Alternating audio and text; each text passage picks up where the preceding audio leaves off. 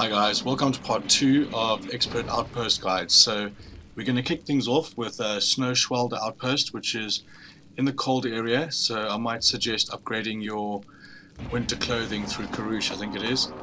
Um, just so you don't even have the cold meter pumping down there but let's get on with it. So it is a medium outpost so not too bad. Get off to a flying start as usual.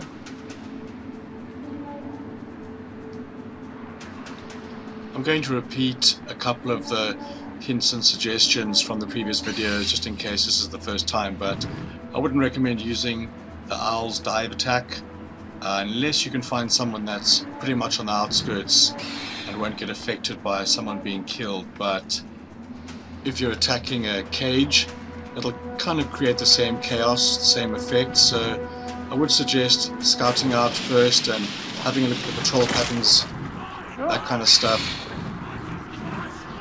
just to familiarize yourself as much as you can with the layout and the patrol patterns. It is a lot of the time the tactic used on the harder outposts because you really can't get inside them until they've taken at least, well you've taken at least half of the guys out and they're not bunched up.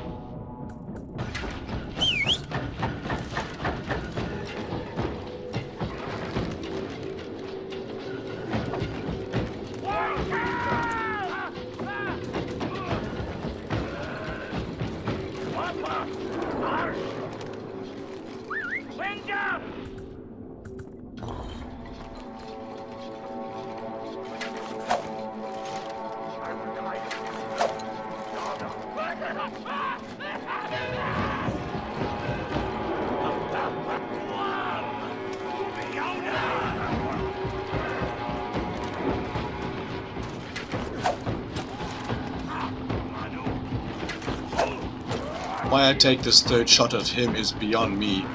It was never gonna hit. Tacky, just tacky.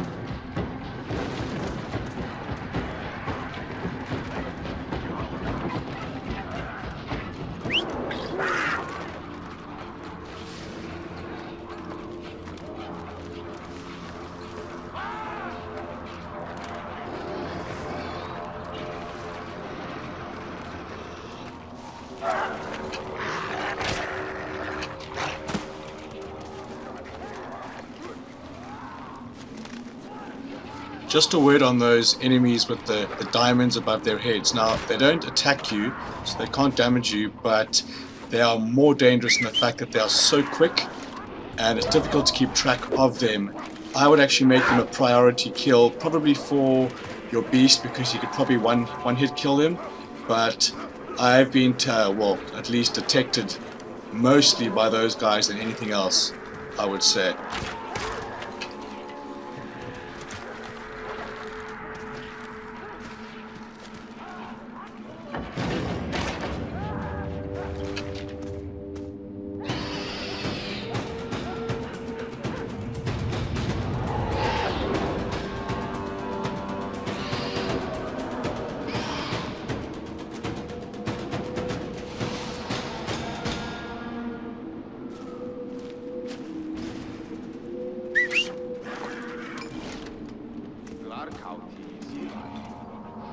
Next up we have Piki or Paikai Meat outpost and this is a medium outpost I think, yes it is.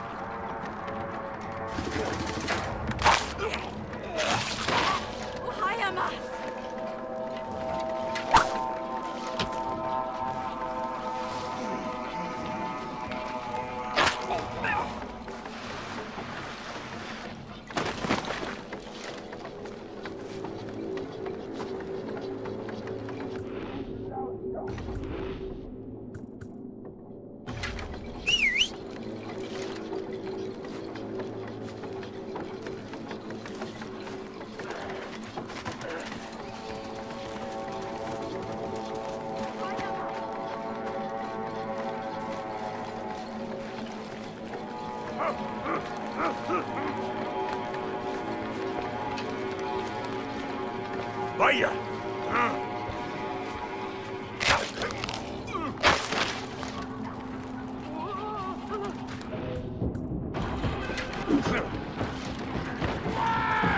Now this is where the diamond enemies get dangerous because they're running frantically around and I use the sting bomb because that normally kills them in one go and use the beast to take them out because they can sneak up on you so damn quickly.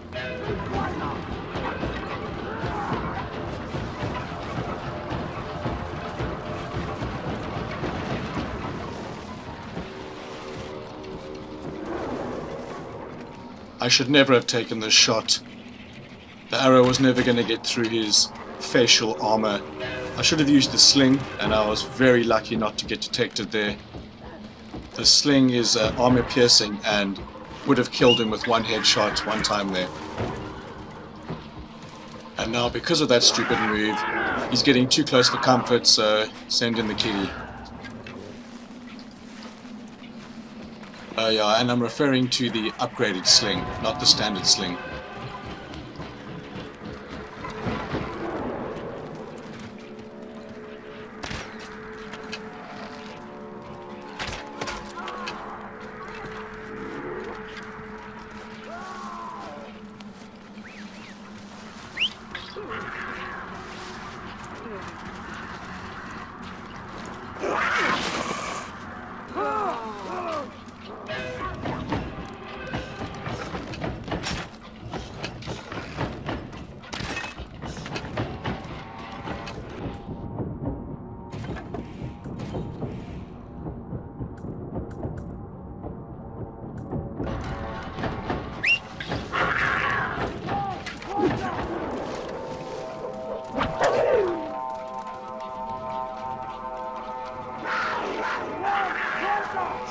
All right.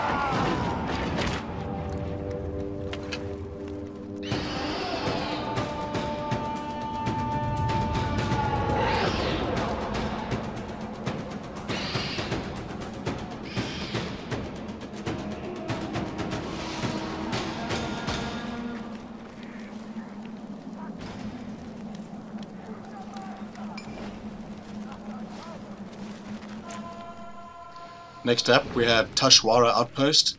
This is a difficulty setting of hard, and is an interesting outpost, one of a kind really. So it's a large dome with grass roof, and what this means is, well, there's caves inside, but what this means is there's only a, a very few exits and entrances on the ground level. So as standard, I would implement my chaos traps tactic. So what that includes is setting up traps around the exits and entrances on the doors, and then use one of the many methods to create some chaos inside, which in turn brings them running out, and you can either pick them off or your traps will do it for you.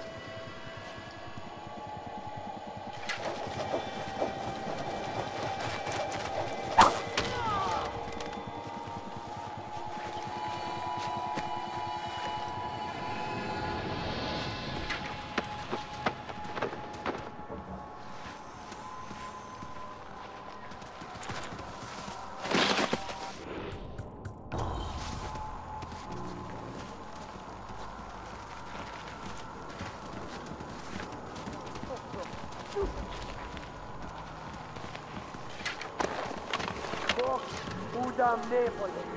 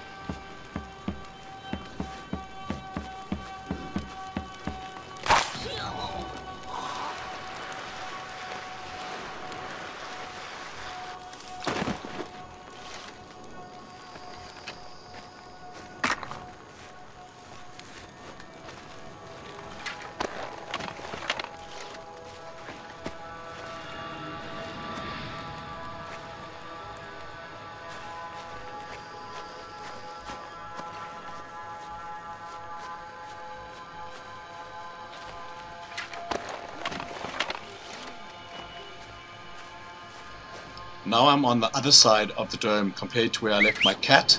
Now I call him and he should come running straight through the whole base and hopefully ruffle some feathers up in there. If not, we'll have to try something else.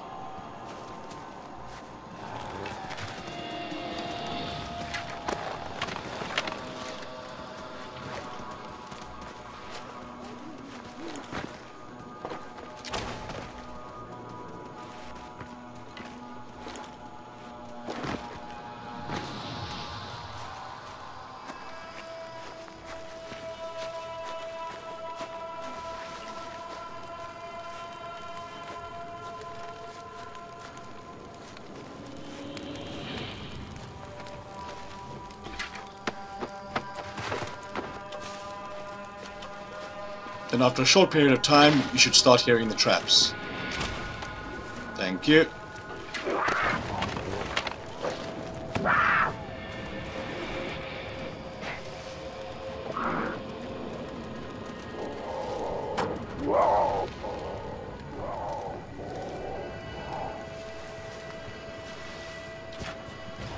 There's another one. And another one pops.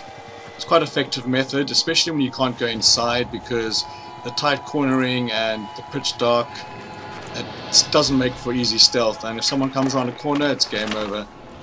It's best in this case to draw them out.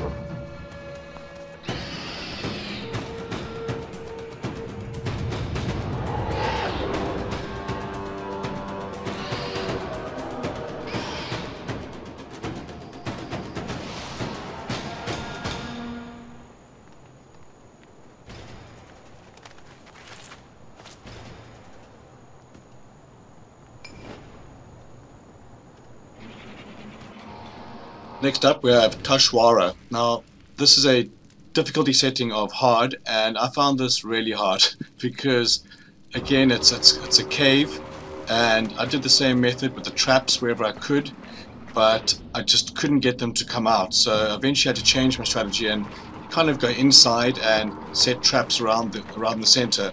Now this entrance I came in here is perfect for the first two kills so this guy's a cover kill and there'll be another one on the left now. So while you're doing this, lay your traps and then stir up the nest. Massive fail on my part here for not tagging these enemies. If you can't use the owl, it's essential. I don't know why I didn't do it, but point your, your weapon at them and it'll mark them.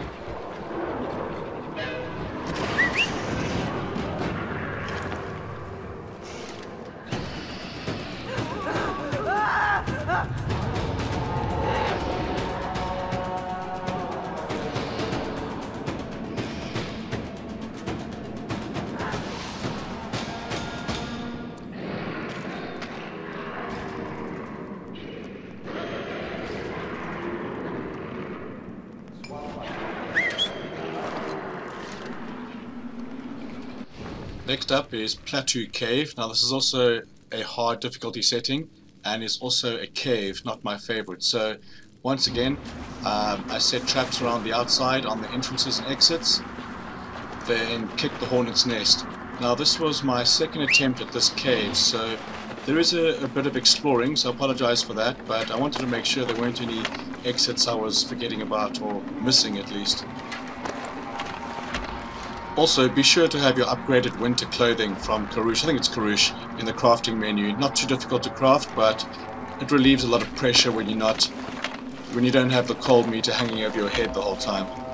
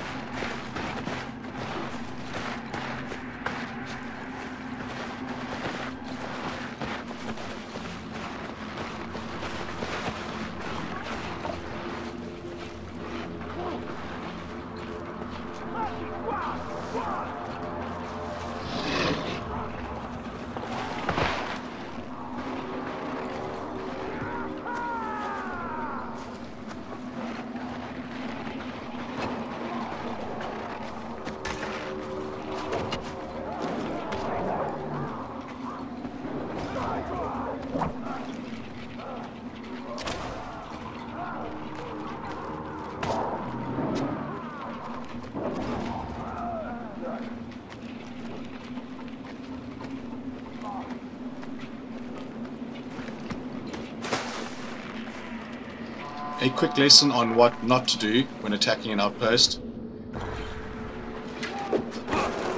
That. But I think it had the same effect I wanted it to, so all good.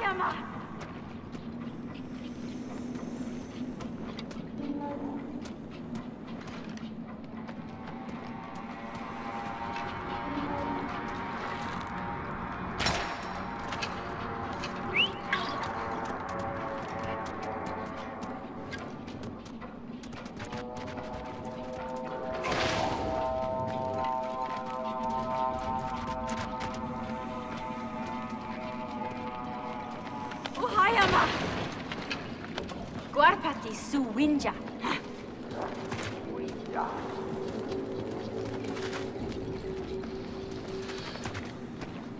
So this is this video winding down. I hope you enjoyed it. I hope it helped.